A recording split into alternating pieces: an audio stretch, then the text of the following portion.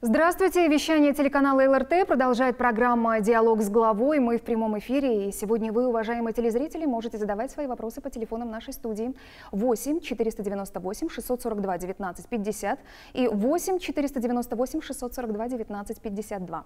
Кроме того, свои вопросы вы можете оставлять на сайте нашего телеканала www.lrt.tv в разделе «Прямой эфир». Сегодня глава городского округа Люберцы Владимир Ружицкий подведет итоги уходящего года. Мы вспомним самые значимые события. Чем же запомнился этот год? Обсудим в прямом эфире. Присоединяйтесь к нам. Здравствуйте, Владимир Петрович. Здравствуйте, Наталья. Здравствуйте всех, кто у нас сегодня с нами. Владимир Петрович, начнем э, с такой важной темы. Это социально-экономическая сфера. Бюджет округа до 2022 года, он уже принят. Приоритетные направления все те же. Это образование, медицина, социальная сфера. Можно сделать вывод, что бюджет, как и прежде, социально ориентирован. При этом открываются новые предприятия, создаются новые рабочие места. Насколько успешной была работа по привлечению инвестиций в этом году? Ну, Наталья, вы настолько все правильно сказали, что э, я бы сказал, что и добавить нечего, да, в том плане, что э, абсолютно все правильно и верно. Э, мы везде говорим, и это классика, что экономика всему голова, и да. никуда не денешься, деньги никто не отменил. Это наша жизнь. Деньги, извиняюсь, это основной товар по угу. классикам марксизма-ленинизма, и эта тема, она, к сожалению, наверное, будет вечной, потому что э, есть мера стоимости, это деньги, и деньги надо где-то искать, потому угу. что мы хотим, э, чтобы и дороги были, и летом цветы сажали, зимой снег убирался, жилье ремонтировалось. Э, это все на все нужны деньги. Я не говорю там про социальные вопросы или медицинское обслуживание.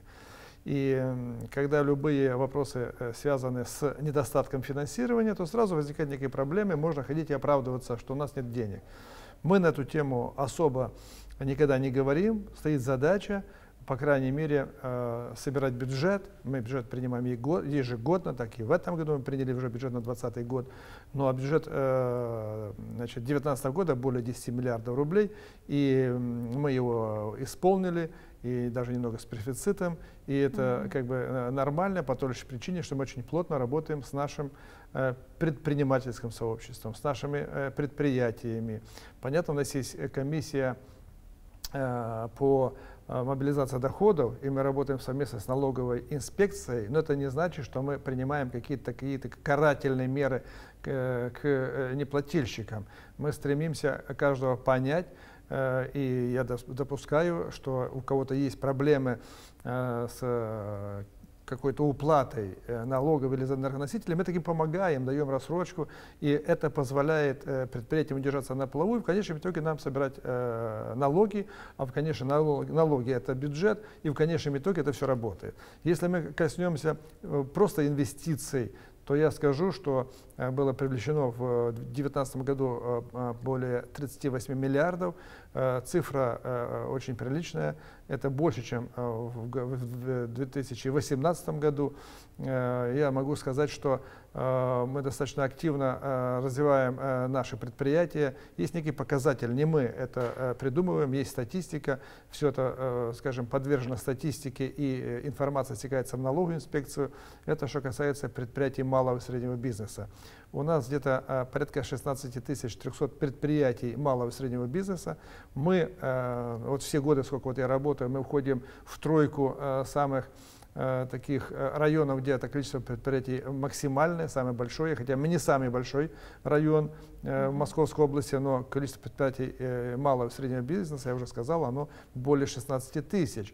А это что собой представляет? Это представляет то, что людям есть возможность работать рядом с домом, Э, эти предприятия, они достаточно успешно работают, э, уплачивают налоги, и таким образом мы в том числе и пополняем бюджет.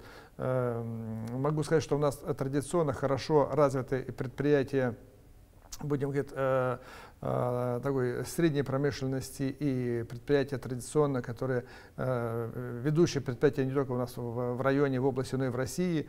Это корпорация вертолеты России, это предприятие «Звезда», и целый ряд других предприятий, которые, в принципе, делают, э, если хотите, рекламу, если хотите, это некий бренд не только э, Люберец, а, а всей, России. Страны. И, да. понятно, там и предприятия, на этих предприятиях и заработная плата приличная. Кстати, у нас э, средняя заработная плата, это, опять же, по статистике, порядка более 64 тысяч рублей. Это э, Конечно, денег много не бывает, но это, это, это нормально, это средний, какой-то гораздо больше. Угу. Есть еще показатель, опять он статистический, это дает, нам статистика, это количество созданных рабочих мест. Так я вот по памяти э, скажу, мы таких э, мест создали по, по, порядка 1781 рабочее место, это, это статистика. Это тоже прилично. Э, понятно, что сегодня не, э, ну опять же по статистике и то, что мы видим в прессе, не самые лучшие времена для экономики в силу разных причин силу значит, и макроэкономических проблем, и в политике не все просто. Но тем не менее мы создали более 1700 новых рабочих мест. Это тоже показатель. Вот, поэтому таким образом э, мы в развитии и в этом плане э, в целом я оцениваю, что экономическая ситуация в нашем городском округе, она достаточно стабильна. Да, спасибо. И, как вы уже сказали, тоже за счет привлеченных инвестиций строят и новые социально значимые объекты. В 2019 году открыли новые детские сады и школы. А, более подробно на эту тему я предлагаю посмотреть сюжет, а Хорошо. далее вернемся в студию и продолжим диалог.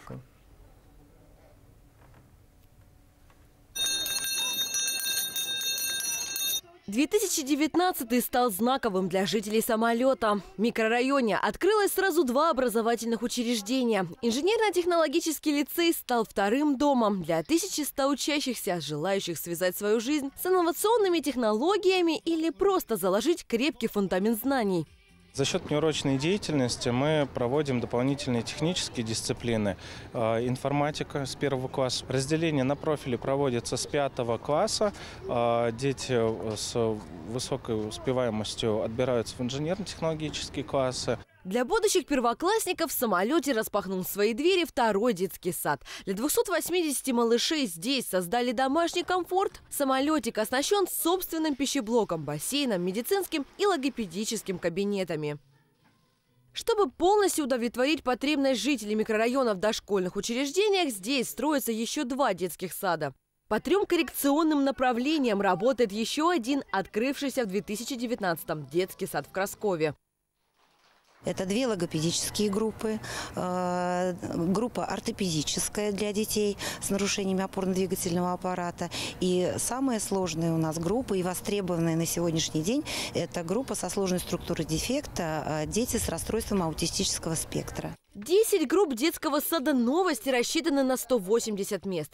Ликвидировать вторую смену и сделать комфортной жизнь учеников позволит строящаяся пристройка к кадетской школе. В ней будут учиться 200 самых маленьких воспитанников. Здание предназначено для начальных классов. Так же, как и люберчане, следующий учебный год в новой школе встретят и ученики из Малаховки. 1 сентября 2020 на месте сказки откроется современная школа для 275 учащихся. Строительство учебного заведения идет в рамках реализации национального проекта «Современная школа». Согласно ему, в регионе появится 50 новых учреждений, три из них в городском округе Люберцы. Анна Троян, телеканал ЛРТ. Владимир Петрович, а вообще чем интересны вот эти вот э, новые проекты школ, детских садиков, которые открылись в этом году? Какие вообще вопросы в образовании округа удалось решить с помощью них? Дело в том, что образование, оно же носит такой э, характер э, непрерывный с точки зрения, когда ребенок рождается, родители устраивают детский садик, это детский садик, затем э, впоследствии школа, а впоследствии человек получает либо профессиональное образование среднее, либо идет в высшее учебное заведение. Да. И вот людей надо готовить. Более того, вот вы показали такой ролик, где был значит, значит, Э, показано, э, показали школу новую на 1100 мест. Угу. Значит,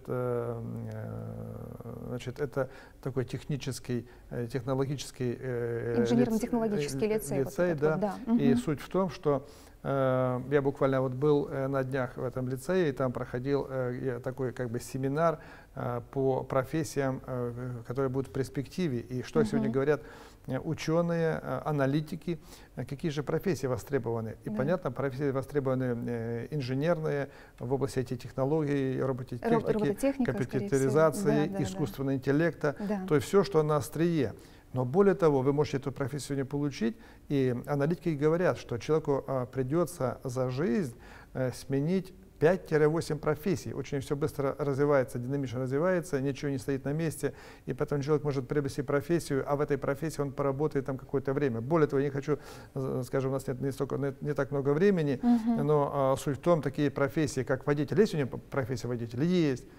Но ее через 10, 10 лет не будет. По той да. же причине, что а, будет а, значит, на, да, да, да, да, беспилотный да, да. Э, водитель или врач. Ну как, как можно обойтись без врача? Сегодня аналитики говорят, да, 10-15 лет и прости врач, врача не будет. Поэтому это будут всевозможные значит, э, приборы, искусственный интеллект, будут угу. анализы, э, значит, значит, там по каким-то, я не знаю, там, волос, там, дыхание, да, да, и да. будет выдача э, каких-то там рецептов и так далее. Э, нужны будут, возможно, фармацевты, и не то понимая, как сейчас. И так коснись э, любой профессии. То есть сегодня мир очень быстро развивается, поэтому надо дать ребятам некий импульс в том плане, что они должны быть любознательные, они должны быть, э, уметь работать с книгой, они э, должны работать в этом пространстве виртуальном с точки зрения компьютеризации и так далее, э, которое позволит перспективе э, переобучиться, перестроиться, перенастроиться. Быть вот задача, мобильными в этом Да, плане. задача школы. Угу. Поэтому на сегодняшний день мы э, в образовательных учреждениях проводим э, некие семинары, некий обмен мнениями значит, с учительством, со школьниками. Наши школьники, а, кстати, я вот не сказал, у нас где-то более порядка 18, 18 тысяч в детских садиках детишек ходит, детей в детские сады, и порядка более 34 тысяч это школьники, значит, от 1 по 11 класс. Угу. И мы ставим задачу именно Э, именно начиная с садика, в школах, давать вот этот импульс, чтобы э, в человеке э, проснулась тяга, жажда к знаниям, к совершенствованию. И более того, значит, мы стремимся, чтобы в каждой школе было внеуроч, были внеурочные занятия, чтобы была возможность тем ребятам, которые интересуются чем-то дополнительно, особенно в области компьютеризации, каких-то технических наук, хотя у нас есть и медицинское направление в школах, есть Э, скажем, вопросы, связанные там со строительством и так далее, но мы даем некий импульс, чтобы ребята могли э, заниматься, совершенствоваться, а дальше избрать себе ту или иную профессию, которая как бы ну, тяготеет. Мы же все э, внутри к чему-то как-то расположены, и надо Конечно. понять этого человека, чтобы он мог приобрести профессию уже по душе. Я уже не говорю о том, что в каждой школе э, должны быть занятия, которые связаны э, со, со спортом, значит, э, потому что физи физическая культура, она укрепляет, как говорят, и тело, и душу, угу. и этим надо заниматься, и мы над этим тоже очень достаточно плотно работаем, угу. это вопросы связаны, включая э, ГТО и прочее, и у нас в этом плане целое есть, целое направление, мы эти вопросы отслеживаем, и в этом плане тоже мы э, как-то как, как двигаемся. Но угу. наши школьники принимают участие абсолютно во всех конкурсах, олимпиадах, эм, Значит, э, я вам скажу, вот есть показатель, где мы находимся Э, у нас, по-моему, было порядка 8 100-бальников э, по итогам 2019 э, года. Угу. По статистике, это мне говорит Управление образования, у нас 66% школьников поступили в высшее учебное заведение.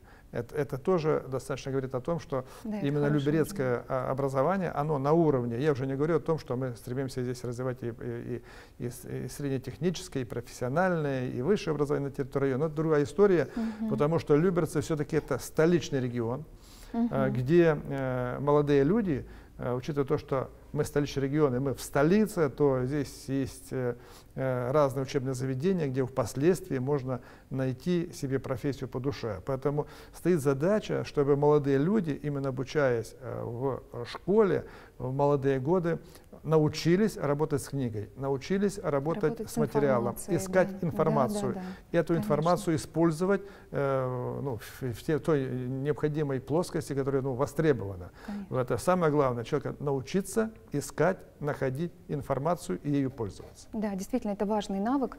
Владимир Петрович, у нас есть телефонный звонок. Здравствуйте, вы в прямом эфире. Представьтесь, пожалуйста, и задавайте ваш вопрос. Хорошо.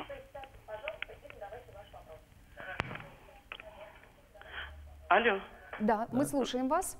Здравствуйте. Здравствуйте. Владимир Петрович, хочу вас поздравить с наступающим Новым годом и задать вам вопрос. Спасибо. Меня зовут Наталья Владимировна. Так. Проживаю я на улице Побратимов. У меня такой вопрос. По поводу долголетия сейчас у нас организовали по программе Воробьева. Но очень плохо организовали. У нас один бассейн на все люберцы. На все люберцы. И очередь у меня подходит только в мае месяце. Это что ж такое за долголетие? А мы уже в возрасте люди, Со- уже там в мае начнут. Согласен, да, есть, есть вопрос. Вопрос есть. У нас, э, к сожалению, э, будем говорить, муниципального э, бассейна нет. Вот у нас на северной стороне, да, там один бассейн. Уже если мы берем эту сторону, центр города, тут э, два бассейна. Я надеюсь, что скоро бассейн откроется и на улице электрификации. Поэтому э, бассейны есть, но, может быть, не так э, рядом с домом. А, Но активное долголетие, оно подразумевает собой, ну, не только бассейн. Бассейн это важно, э, и это хорошо. Э, Но э, вот мы по субботам, воскресеньям, вот я так думаю, вы проживаете рядышком э, с э, парком Наташинские пруды, там проводятся занятия, мероприятия э, с э, людьми более старшего э, поколения, где э, люди занимаются скандинавской ходьбой, р- разные меропри- мероприятия, скажем, занятия, э, связанные и, скажем, с как провести досуг, время.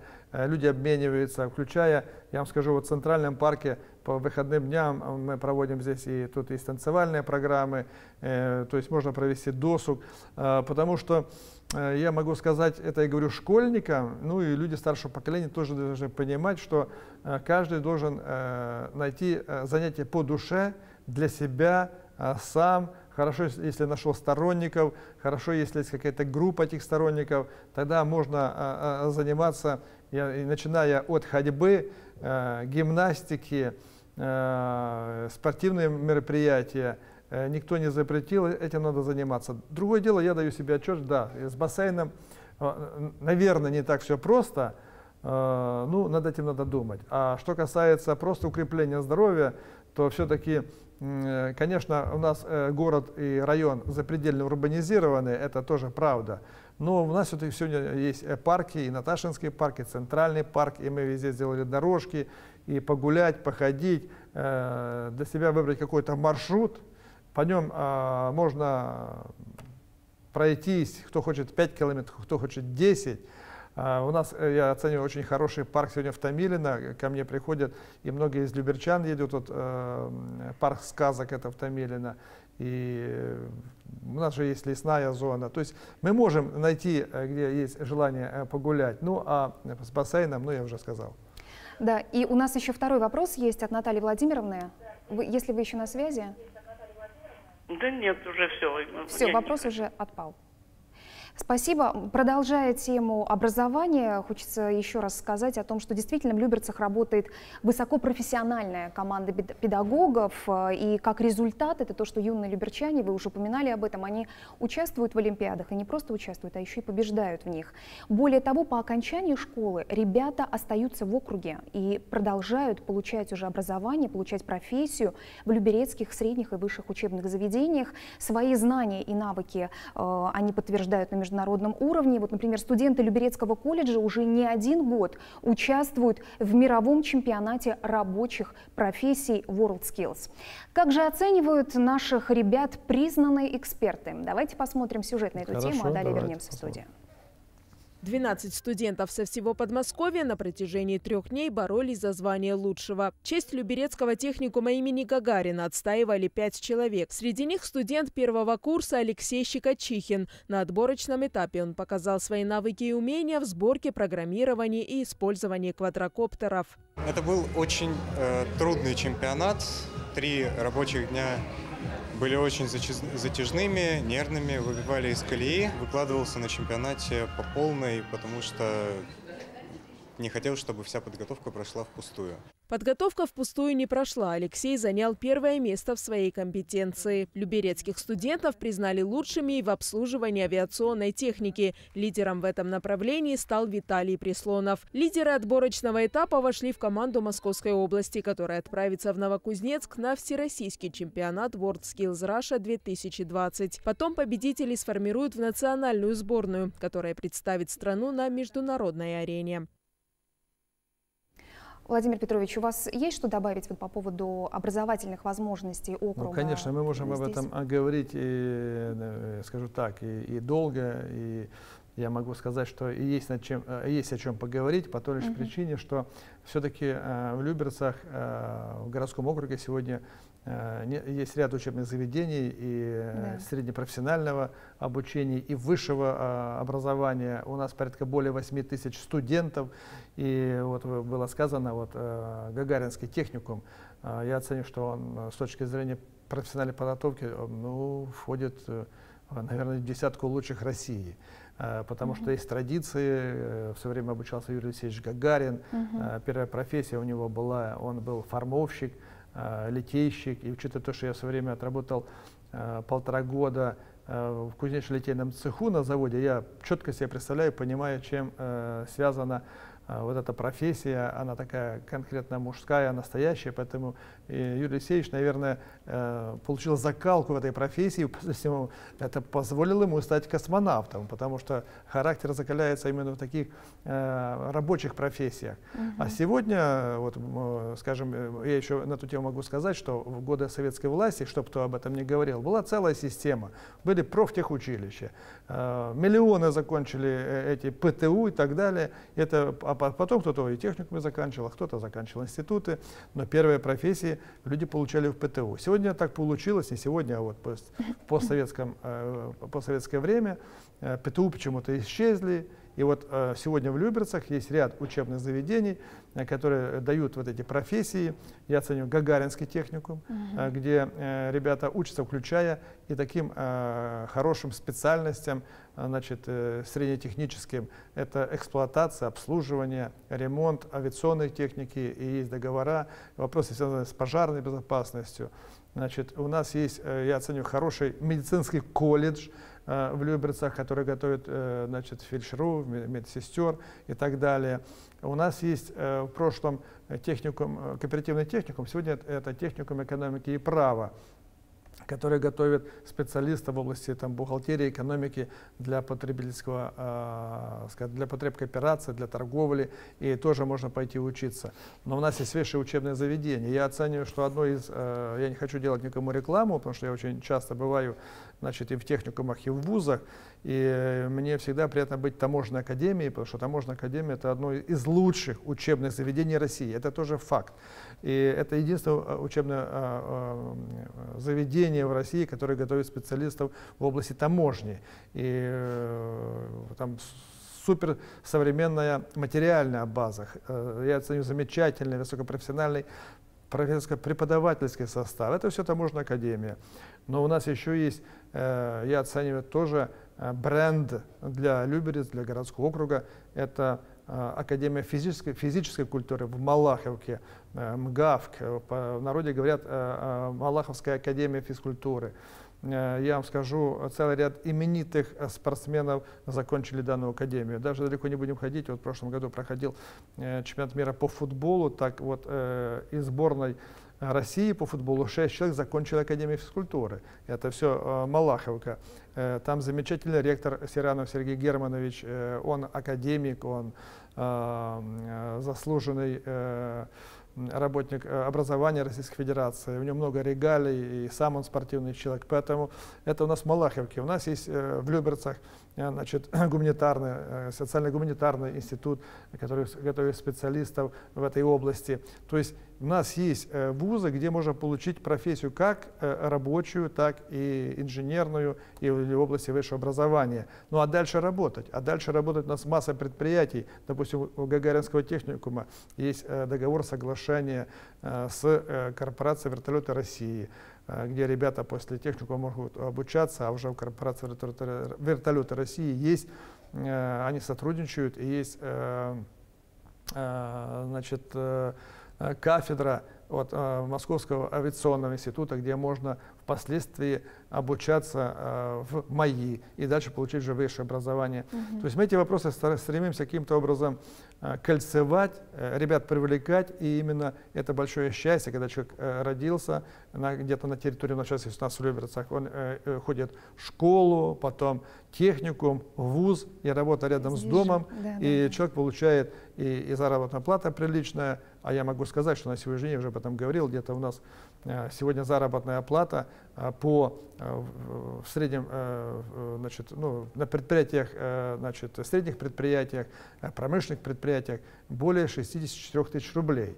Понятно, денег много не бывает, но это, она бывает больше и меньше, поэтому зависит от, от квалификации, от э, того, а какой человек вносит вклад в предприятие. Угу. Я вот бываю на тех же вертолетах России, там есть ребята, кто получает и 100-150 тысяч рублей, значит, кто-то э, меньше, но это уже зависит от э, профессионализма и квалификации. Поэтому у нас есть где учиться и есть где трудоустроиться. Да, спасибо.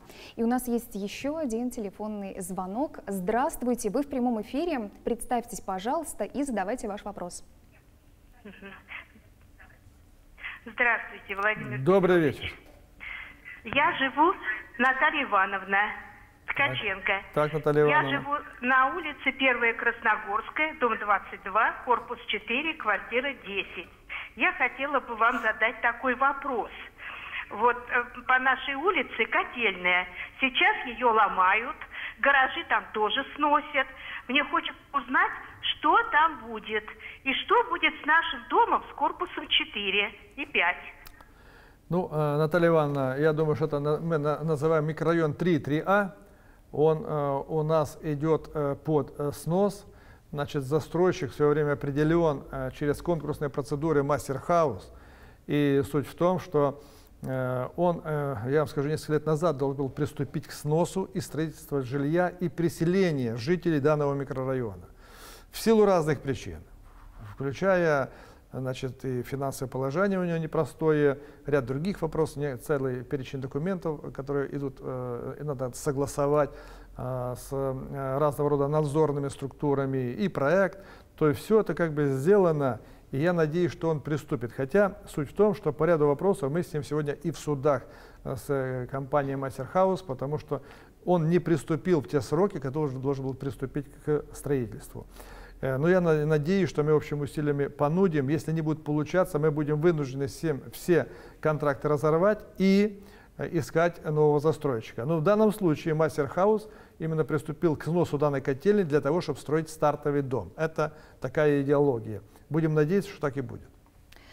Спасибо. Напоминаю, это программа «Диалог с главой». Мы в прямом эфире. Сегодня вы, уважаемые телезрители, можете задавать свои вопросы по телефонам нашей студии 8 498 642 19 50 и 8 498 642 19 52. Также ваши вопросы вы можете оставлять на сайте нашего телеканала www.lrt.tv в разделе «Прямой эфир».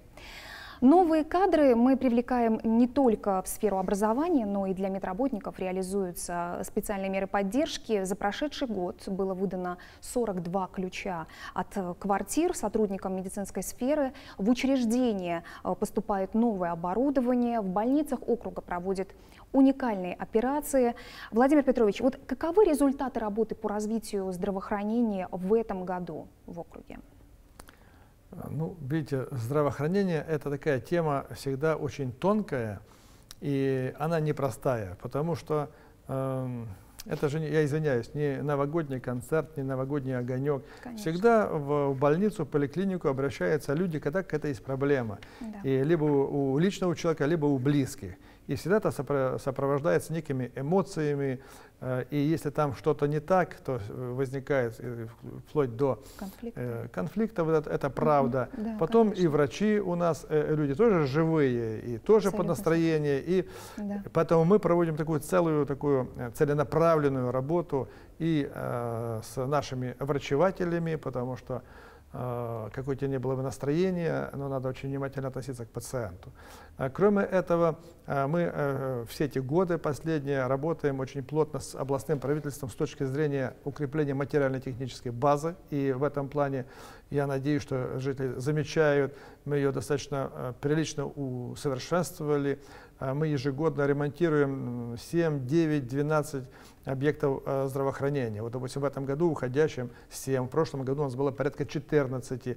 Мы ежегодно в плане вместе с областью э, ремонтируем наши поликлиники, отделения, Значит, мы, допустим, только в этом году мы открыли э, в Красково детскую поликлинику на 150 посещений угу. значит, в смену. Но могу сказать, что я в этом знаю точно, в Московской области мы единственные, кто открыл поликлинику за счет, за счет небюджетных источников. Это значит, Тройка Ред, компания, она под ключ сдала поликлинику, оснастила полностью современным оборудованием. Мы все это согласовали с нашими Э, значит, лечебными учреждениями.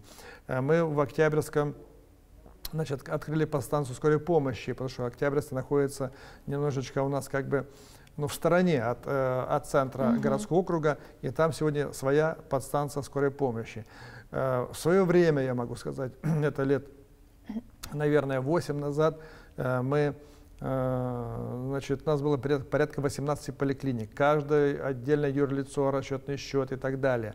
Э, мы э, провели ряд реорганизаций, и мы, у нас получилось на территории э, два крупных больничных комплекса с поликлиниками. И это были тоже своя неразбериха.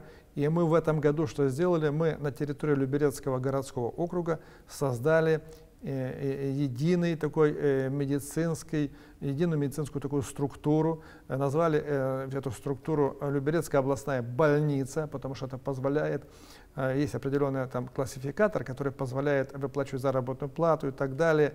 И мы сегодня в этом, э, по этому классификатору занимаем верхние строчки, потому что людей интересует заработная плата. Рядышком Москва, где зарплата, ну, естественно, так складывается больше, но мы к этому тянемся. Поэтому mm-hmm. на сегодняшний день, если, допустим, даже год назад человек, э, который, ну, скажем, есть узкий специалист ЛОР, да, или узкий специалист там в области ну, скажем, кардиологии, угу. и человек приходит э, в Красково, а, а нет врача, и ему куда деваться? Надо направление, чтобы где-то в Люберцах да. посмотрели. То сегодня вот эту э, систему, которую мы сегодня, э, скажем, как бы изменили, и у нас сегодня единое лечебное учреждение на весь городской округ, то житель Малаховки, Тамилина, либо Люберец, полное право имеет, э, записался, сегодня электронная запись, и он, проживая в Люберце, может поехать в Красково. Житель Краскова может приехать в Люберце, житель Коренева приехать в Люберце, записаться и так далее. То есть это сдача анализов, обследование и так далее. Да, возможно, с точки зрения транспорта не очень удобно, но я допускаю, что врач может болеть или врача нету. Он может найти и пройти обследование. Мы эту процедуру выполнили. Поэтому э, медицина все время в развитии. Вы уже сказали, значит, мы в этом году привлекли порядка 39 э, врачей. Угу. Но мы выдали, э, скажем, 42 40. жилых помещения. Почему жилых помещений? Где-то половина это квартиры, а часть молодых людей, которые мы набираем из разных медицинских вузов, это 23-25 лет, и молодые люди, которые значит, не семейные, мы предоставляем комнату в двух- или трехкомнатной квартире, впоследствии они будут получать э, квартиры отдельные. То есть угу. мы этой работой занимаемся, потому что привлечь э, мы можем, э, кроме того, как заработная плата, рядом с Москвой это не просто делать, угу. это жилье. И мы эти вопросы решаем. Жилья, да, да. И плюс создать условия Конечно. нормальные. Кроме этого, мы сегодня у нас э, мы отрабатываем, и мы сегодня в производстве у нас проект э, э, строительства нового хирургического корпуса. Угу. Это у нас э, в центральной значит, больнице, это на улице Мира. И мы планируем, эта тема она стоит остро, жители жалуются. Это в микрорайоне «Самолет». Будет поликлиника на 540 посещений в смену. Значит, вот, проект есть, согласован, земельный участок, и в следующем году тоже приступим к строительству этой поликлиники. Инвестор, э, инвестор все документы согласовал, и тоже начнется строительство. Я думаю, что поликлиника будет построена, ну, думаю, что за год даже ее построят. Угу. Владимир Петрович, а вот говоря о здоровье, о здравоохранении, какое место в вашей жизни занимает спорт? Ну, сказать, э, спорт – это жизнь, это ничего, ничего не сказать, по той лишь причине, что человек, который э, так или иначе э, думает э, и о себе, и, если хотите, там, о работе, или э, ну, просто чтобы быть в какой-то форме, он обречен чем-то заниматься. Да? Поэтому это уже на любителя. Э, кто-то, э, скажем, любит э, зимние виды, спорта, э, лыжи, хоккей – кто-то футбол летом, хотя футбол можно и зимой играть, кто-то плавание зимой уже не поплаваешь, да? Поэтому э, стоит задача на территории городского округа э, спорт развивать, спорт уделять значительное внимание, начиная с детского садика, школы и впоследствии, э, или даже не впоследствии, одновременно развитие спорта по месту жительства. Я помню, были годы, опять же вернусь к советским, э, в советские mm-hmm. годы, у нас э, по ЖЭКам были э, спортивные инстру инструктора, которые занимались организацией спорта по месту жительства, что очень важно, потому что стоит задача именно вовлечь, привлечь э, людей, чтобы они могли, э, скажем, рядом с домом футбол поиграть, баскетбол, хоккей. Мы сегодня, э, я вам скажу, по количеству существует, допустим, даже в этот год, сейчас по памяти скажу, мы ежегодно занимаемся обустройством э, дворовых территорий. И это да. детская площадка и спортивная. Спортивные так, площадки. Мы в этом да. году обустроили порядка 68 э, дворов.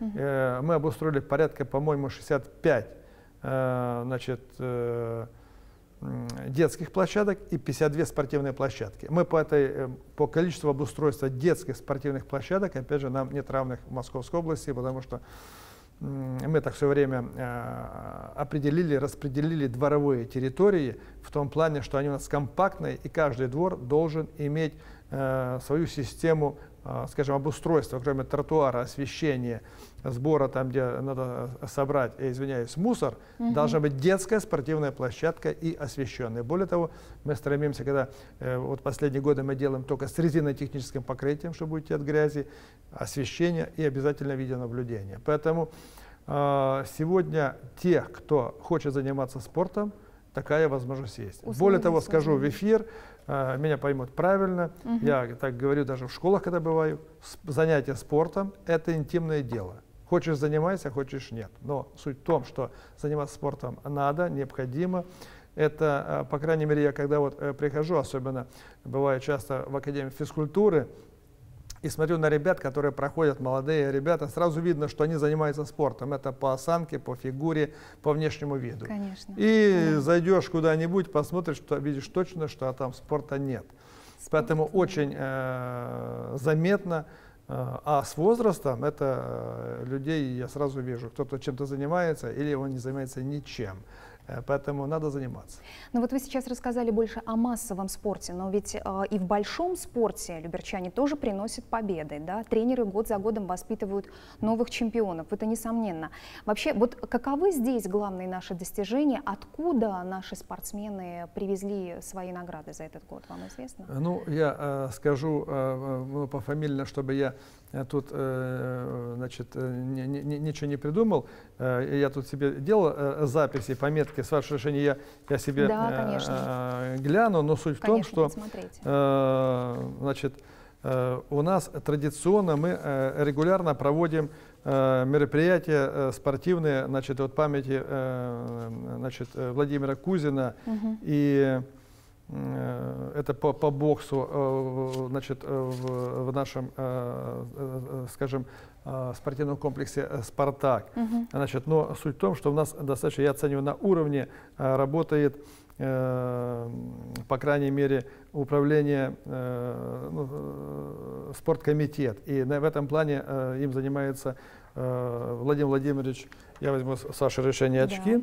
Значит, и э, чтобы я был правильно э, понят, значит, вот э, могу сказать, что э, у нас на сегодняшний день э, 70 видов спорта. из них 19 олимпийских. Это мне вот, значит, что касается э, значит, э, достижений, то вот Полина Хомякова, она стала реконспекторкой России в эстафете 400 на 400, значит, и э, вошла в состав сборной э, команды Московской области. Э, что касается э, значит, вот, э, тяжелой атлетики, люберцы этим отличаются, то э, проходило первенство Европы в городе Илат, Израиль, и Яна Сатиева, она э, заняла первое место. Это, э, будем говорить, э, такие достижения. Значит, э, э, есть такой вид спорта арм-рестлинг. Да, да? Так есть. вот, Олеся Шибанова, она заняла первое место на чемпионате мира. Э, значит, мы, так получилось, я об этом ну, не говорил, но суть в том, что мы заняли, не заняли, а, по крайней мере, ну, уже не, в прошлом году, да, в 2018 году, мы с Федерацией экономии значит, и гребли на байдарках, мы заключили с Федерацией, Всероссийской Федерацией некое соглашение, и на базе Корневского карьера... Там э, будет развиваться. Да, мы э, начали развивать да. данный вид угу. спорта. Угу. Так вот, хочу сказать, что, э, значит, в заездах на байдарках-одиночках бронзовым призером Кубка России на дистанции 2000 метров стала Елена Анюшина. Значит, а, по итогам первенства Европы по боксу значит, наш Владислав Иванов значит, э, который проходил в Владикавказе, занял первое место в весовой категории до 91 килограмма. Поэтому э, я могу, скажем, тут э, такие записи есть, и суть в том, что можно об этом рассказывать, потому что мы везде говорим, что Люберцы территория спорта, но есть еще такая интересная, э, скажем, э, ну, как бы сюрприз. Вот семилетняя девочка Ксения э, Лукина, да, она попала в книгу рекордов э, России, России да? угу. она э, на перекладине Э, как говорят, прямым хатом, хватом за одну минуту сделала 18 подтягиваний. Это, ну, это грандиозно. Да, конечно, поэтому да. суть в том, что э, э, будем говорить, что э, начиная от таких юных э, дарований, семилетних, когда они попадают в книгу рекордов Гиннесса, ну и заканчивая значит, и э, тяжелой атлетикой, и боксом, и греблей, э, значит, и, и баскетболом, угу. и, и футболом. То есть у нас есть э, кем гордиться. Ну, а самое главное, я могу сказать, что касается э, сдачи норм ГТО, э, то э, так получается, что мы находимся в первых строках Московской области по количеству э, занимающихся, э, значит, э, э, занимающихся, скажем, э, ГТО, а также э, призеров и э, тем, кому выдан, э, выданы значки ГТО, мы находимся в первых строчках Московской области. Это тоже факт. Ну, Люберцы – территория спорта. Да. да, от этого никуда не денемся уже.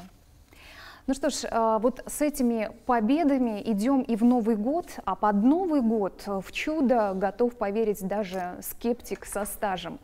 Но сами-то дети, они всегда живут, э, все время живут в ожидании волшебства. Правда, не всем ребятам доступны новогодние, предновогодние радости. Поэтому администрация округа совместно с Почтой России организовала незабываемое представление для детей из многодетных семей, попавших в трудную жизненную ситуацию, а также для ребят, которые проживают э, в социальных учреждениях, для детей-инвалидов. Все подробности этого праздника в нашем сюжете давайте посмотрим. Новогодние сюрпризы, сказочные персонажи и письма Деду Морозу. Люберецкий дворец культуры на один день превратился в волшебную страну. Атмосфера праздника чувствуется уже с порога. Для того, чтобы новогодние желания непременно сбылись, дети пишут письма «Великий Устюг». На втором этаже царит настоящее волшебство. Здесь маленьких люберчан ожидают сказочные фотозоны, красавица-елка и главные новогодние персонажи. Ассоциируются с э, наступлением Нового года, новых желаний, новых возможностей. Конечно, чего-то такого прекрасного и необычного. Тем временем в заполненном зале Дворца культуры шумно и весело. Заразительный детский смех не прерывается ни на минуту. Со сцены звучат песни и поздравления с наступающим Новым годом. Новогоднюю елку Прогулку главы городского округа Люберцы посетили более 600 детей. В преддверии любимого праздника они получили сладкие подарки и массу положительных эмоций. Луиза Игазарян, Валерий Абсалямов, Сергей Гвоздев, телеканал ЛРТ. Новогодний марафон стартовал, как и сам-то проект «Зима в Подмосковье». В Люберцах на выбор жителей и гостей округа созданы условия для активного отдыха. Владимир Петрович, а какие развлечения ждут люберчан а, в этом году в парках округа, во дворах, может быть? Ну, во-первых, мы, как всегда, готовимся к Новому году, и мы ставим перед собой задачу э, организация всевозможных мероприятий. Поэтому угу. вот э, будем говорить, э, организация встречи Нового года, а, она произошла еще 1 декабря. Декабря, да. да. Потому что мы на территории городского округа а, зажгли елку э, именно в центральном парке. Я думаю, что она многие видели уже, она красочная. Угу. Таких мест мы определили 5 в каждом городском поселении. Э, в этот э, день в 6 часов вечера скажем, такое действие было совершено, и не только у нас, по всей Московской области. Мы включились, будем говорить, хотите в этот марафон или, угу. скажем, в это действо. И, а на сегодняшний день я оцениваю, что город э, украшен. Конечно, совершенства нет предела, но ставили задачу, чтобы э, все как-то светилось, сверкалось, э, переливалось разными красками, особенно объекты э, торговли и так далее. Ну, в этом плане э, мы двигаемся, я так думаю, что-то еще будет украшено. Поэтому надо создать такое праздничное настроение. Более того, у нас работает э, управление культуры э, совместно с управлением спорта э, по той лишь причине, что мы планируем целый ряд мероприятий. Это размещено эти мероприятия, их перечень и название, и время, это на наших сайтах это все указано. Тем не менее, у нас где-то мы планируем провести где-то там порядка 550-570 всевозможных различных мероприятий, угу. особенно предновогодних, особенно внешкольных каникул, э, где э, будут всевозможные концертные программы, новогодние представления, Дед Мороз и Снегурочка, это в том числе детишкам подарки. То есть это все будет организовано в наших домах культуры, в наших парковых Парках. зонах. Угу. Значит, это будут всевозможные Э, концерты, анимации, аниматоры, все, что связано с э, ну, весельем, э, потому что все-таки Новый год это радостный праздник, и, и, и в том числе включая Рождество. Кроме вот, развлечений, естественно, а, значит, мы организуем э, всевозможные спортивные мероприятия. Единственное, что сегодня ну, пока нет снега, я надеюсь, что он будет, и нет морозов, я надеюсь, что они будут. Что они будут да, потому да. что зима свое возьмет. Да. Э, поэтому мы ставим где-то, мы должны залить, там, я оцениваю, там 21-23 катка. катка. Мы угу. ставим задачи организация э, значит, снежных горок, и мы тоже, э, у нас места определены, мы понимаем, как это сделать и, и кем это делать. Ну, если нужен снег и мороз, и мы эту тоже работу проведем. Поэтому стоит задача, значит, у нас во всех парках определены э, э, территории, зоны, где будет лыжня, и у нас будет несколько скажем, территории, где она будет освещена лыжня. Uh-huh. Поэтому тоже нужен снег, и это, если это будет, мы тоже все это организуем. Uh-huh. Поэтому стоит задача вот, подойти к новогодним праздникам, чтобы было весело, на душе тепло. В, организационном плане, uh-huh. скажем, наше э, э, скажем, управление культуры и спорта к этому готовы. Я думаю, что жители, э, жители. это поддержат. Тоже готовы. Школьники, для школьников зимние каникулы это тоже радость радость, это отдых, и тоже будет где заняться.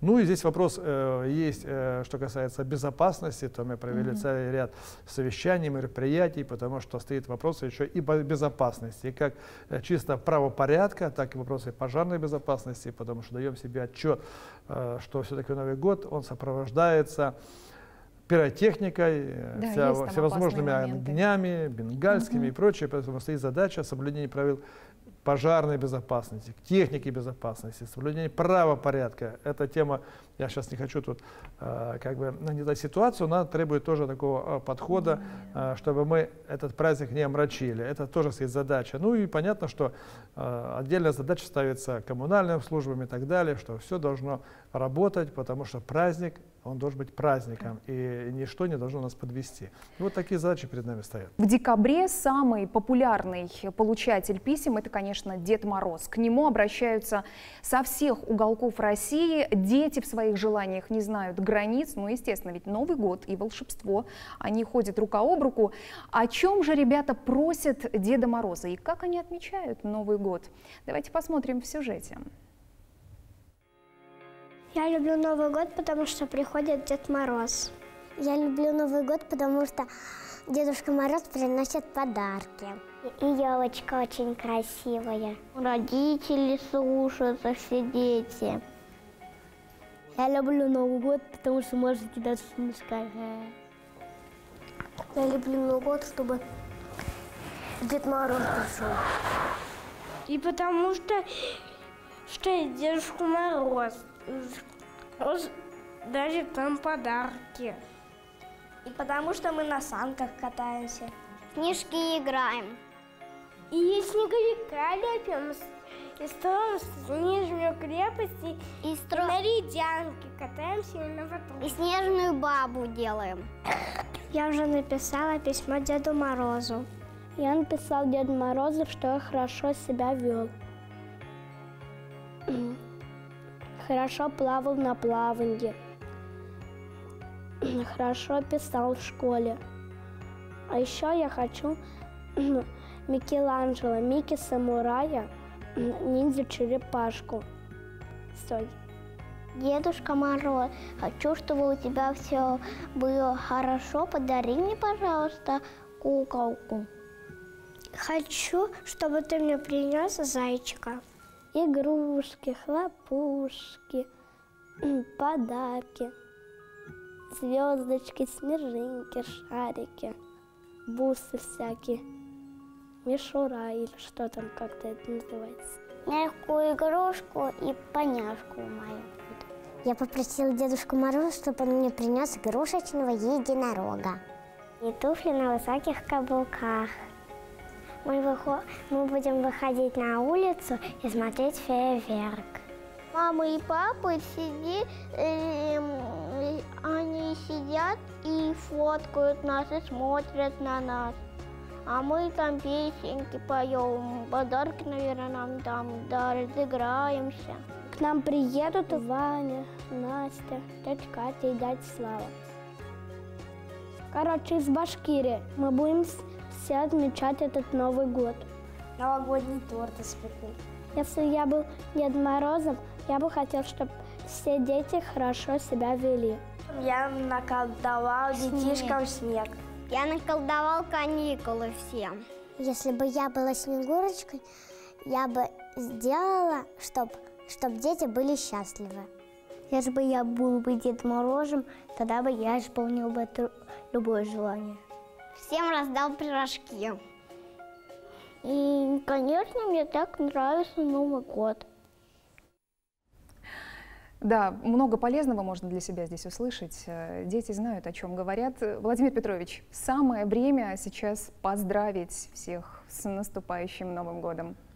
Ну, видите, э, настолько э, хорошая такой, такая зарисовка, да, Чудесная. Разговор с детишками, потому что Новый год – это все-таки семейный праздник, это праздник как детишек, так и взрослых. И задача взрослых чтобы вот эти ожидания детишек оправдались, потому что вера в сказку, вера в чудо, э, это, наверное, в детстве э, чуть ли не главное, основное, потому что э, когда ребенок вырастает с верой в чудеса и так далее, потом взрослеет, и он стремится, чтобы вот эти чудеса в жизни э, становились явью, и, и он к чему-то приходит, потому что у него какая-то воля из детства, что это, это все сбывалось, и он дальше пытается, чтобы это тоже как-то получалось. Я бы сегодня хотел бы искренне сказать, что вот эти детишки, которые озвучили это в целом, э, будем говорить, э, пожелания, видеть это чудо, подарки, чтобы это сбылось. Это может сбыться при одном условии, что если есть взрослые, и они помогут э, этой сказке сбыться. Э, я сегодня хотел бы сказать э, слова, чтобы чудо сбылось, и мечты сбылись у, наших, у нашего старшего поколения, от них были сегодня вопросы, потому что люди более старшего поколения, они все-таки сделали и внесли свою лепту в развитие вот этого чуда нашей страны, которое позволяет нам по крайней мере, сегодня ряд вопросов решать. Поэтому я искренне хотел бы, чтобы э, у людей а, старшего поколения э, и здоровье, и, и чудеса э, сбывались, совершались, чтобы планы сбылись. Ну, а есть вот, я оцениваю такой основной, как бы, состав нашего населения, это люди трудоспособного возраста, чтобы у них хватило сил обеспечить вот это сказочное желание детишек и помочь э, в этом мире э, в плане долголетия своим э, родным и близким старшего поколения. Поэтому вот этому э, людям взрослым искренне желаю и, и доходов, и заработной платы, и такого внутреннего э, морального э, внутреннего согласия, э, чтобы э, ваши планы сбылись. Поэтому сегодня хотел бы искренне всем пожелать вот, всяческих чудес в Новый год, чтобы все задуманное сбылось, свершилось. искренне желаю, чтобы э, все, к чему вы стремитесь, э, желаете, чтобы это э, стало явью, чтобы вот эти планы, которые мы намечаем, э, чтобы они обязательно сбылись, потому что жизнь, она быстротечна, все в этой как бы непросто, но когда человек живет с верой, э, с э, таким огромным желанием что-то получилось и сбылось, оно обязательно сбудется. Поэтому я искренне желаю, чтобы все были здоровы и счастливы, мир был в душе и вокруг нам, нас и в этом пространстве, Э, жизни э, людей. Поэтому искренне желаю, чтобы все у нас получилось, потому что именно э, вот это общее настроение, доброта, любовь, вот это сказочное настроение вокруг, оно делает нашу жизнь прекраснее, и мы, вот, исходя из того, что мы видим, это нас укрепляет, и мы в состоянии решать самые разные задачи, любые вопросы. Поэтому Э, в канон э, Нового года искренне желаю, чтобы все у всех получилось, чтобы все были здоровы и счастливы и, и радовались э, жизни, окружающим. Поэтому, друзья мои, с наступающим Новым годом! Спасибо, Владимир Петрович, за ваши слова поздравления и за ваши подробные ответы на сегодняшние вопросы. Друзья, это был диалог с главой. Мы благодарим вас за внимание и проявленный интерес. С наступающим вас Новым годом. И пусть нынешняя зима особо не балует нас снегом, но никто не отнимет у нас мечту о снеге. А ведь мечты сбываются. Порадуемся снегопаду хотя бы на экране. С наступающим праздником, Люберцы. Спасибо.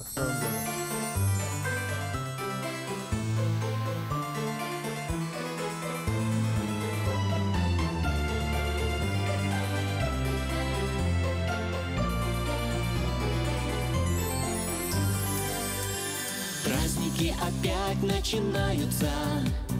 Пусть мечты скорее сбываются. Мы же пожелать здоровья хотим Людям всем на нашей планете.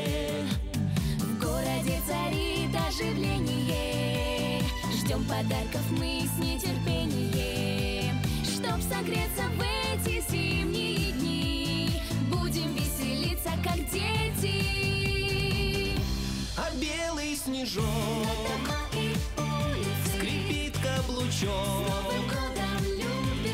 Время вперед идет Новый год.